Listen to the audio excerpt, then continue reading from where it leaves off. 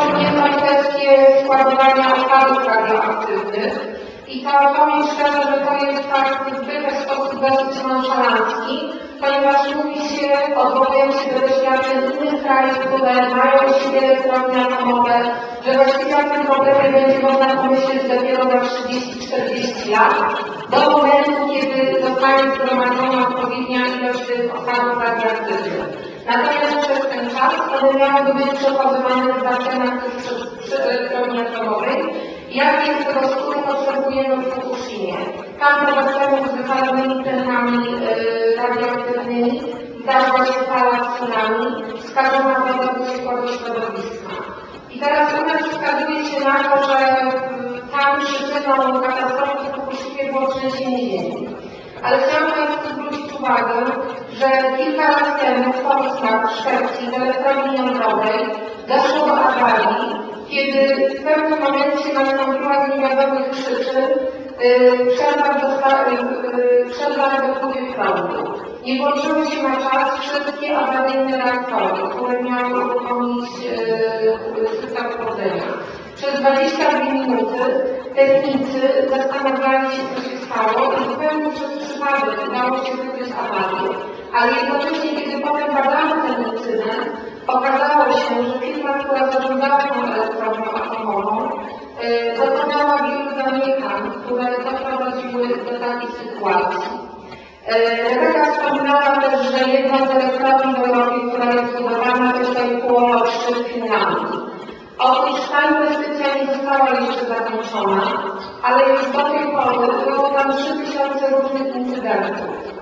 Więc to nie jest tak, że elektrownie atomowe, jak nam próbuje mówić lobby atomowe, są zupełnie bezpieczne.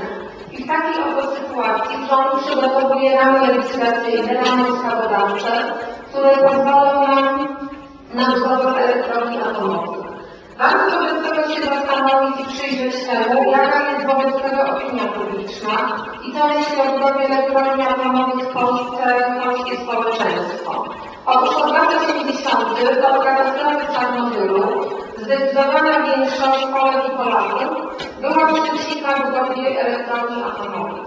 Ten trend zaczął się odwracać w roku 2008, roku 2009 i to jest też taka ciekawa koincydencja, ponieważ to jest ten moment, kiedy rząd podjął decyzję o budowie elektrowni atomowych i kiedy też do takiej zmasowanej kampanii, wydając miliony złotych do likwidytów kryzys finansowy, kiedy należało dokonywać cięć w polityce społecznej, w polityce edukacyjnej, i w polityce zdrowotnej, uruchomiono rezerwę budżetową na to, żeby wprowadzać program energetyki jądrowej w Polsce.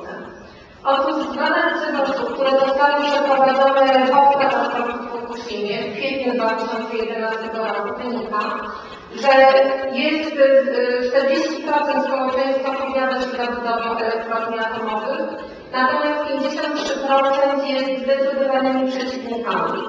I to może być dla nas ciekawe, zdecydowanie, zdecydowanie większymi przeciwnikami energetyki jądrowej są kobiety, ponieważ przeciwnych budowie elektrowni atomowych jest 63% kobiet, 27% opowiada się za.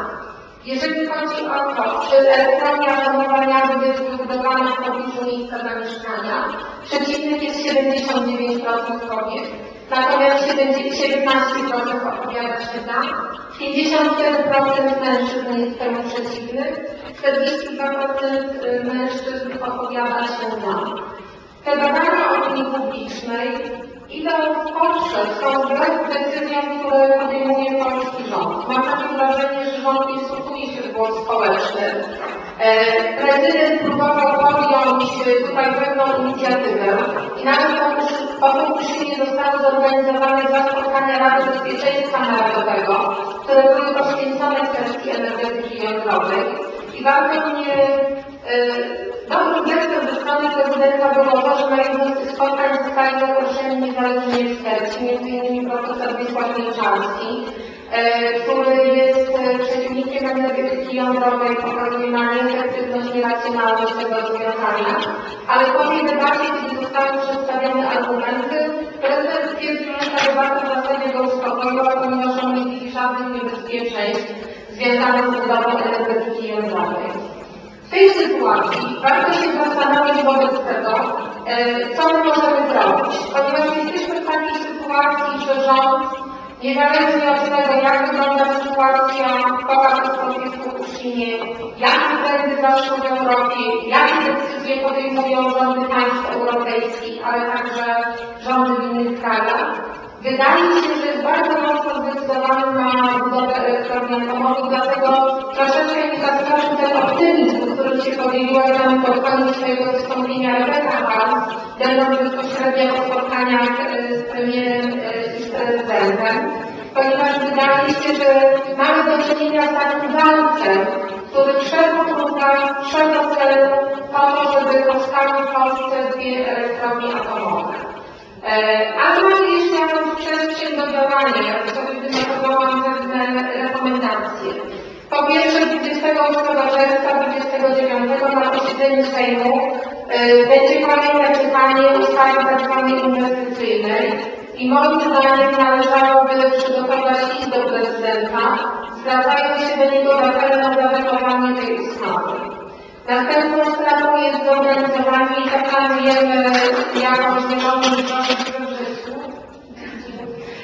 Planujemy zorganizować wysłuchanie obywatelskie w Sejmie z udziałem jak najszerszej publiczności, żeby przedstawić argumenty, które pozwolą odwrócić ten niebezpieczny trend.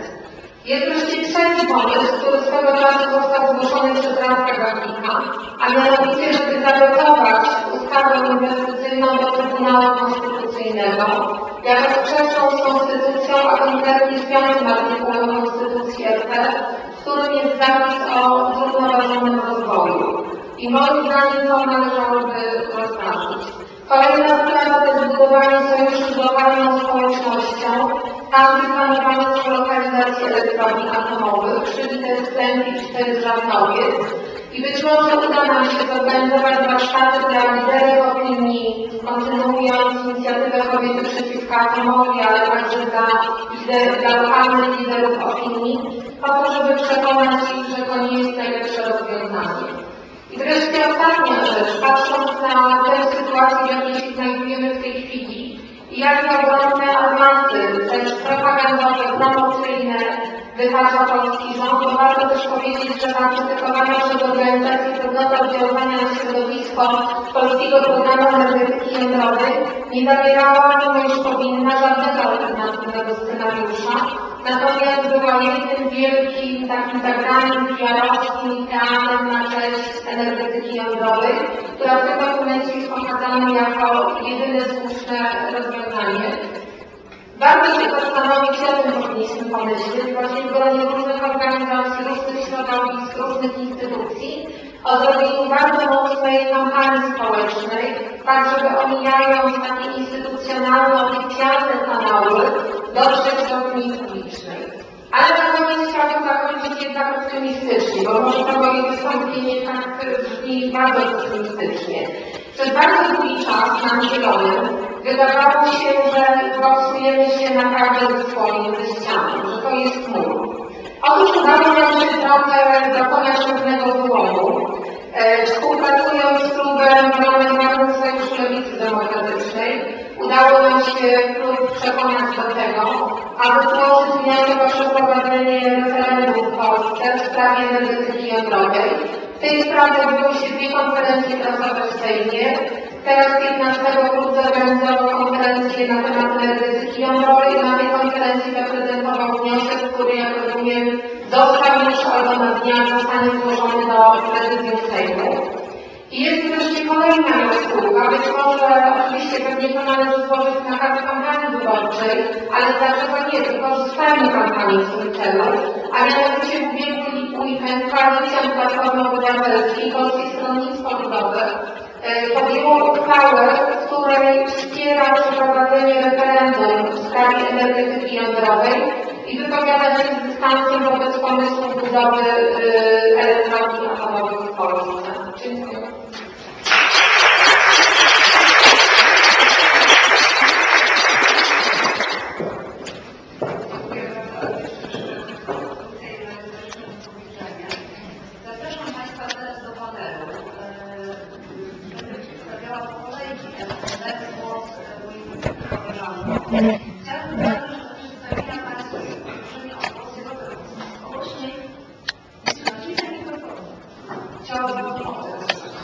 Chciałabym poprosić o e, rozpoczęcie naszego nowego rozmowy obecną która jest odpowiedzią powieść, e, która rozpoczęła e, ruch przeciwko aborcji w Polsce. Mamy naszą otwartość Emma Twistor, która jest z kolei taką także inicjatorką ruchu antyalkoholowego w Niemczech, jedną z twórczych partii zielonych w Europie, bym mogła się poprosić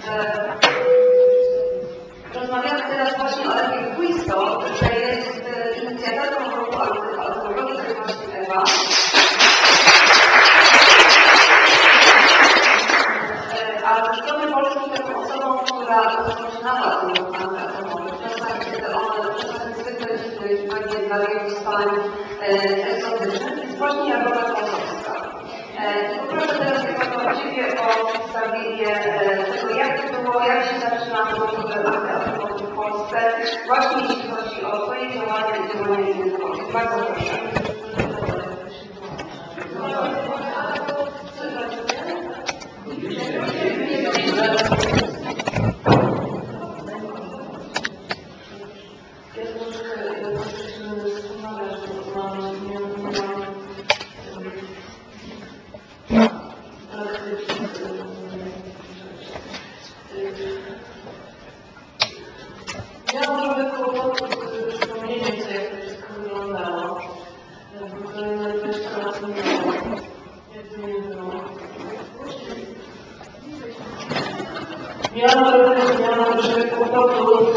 Z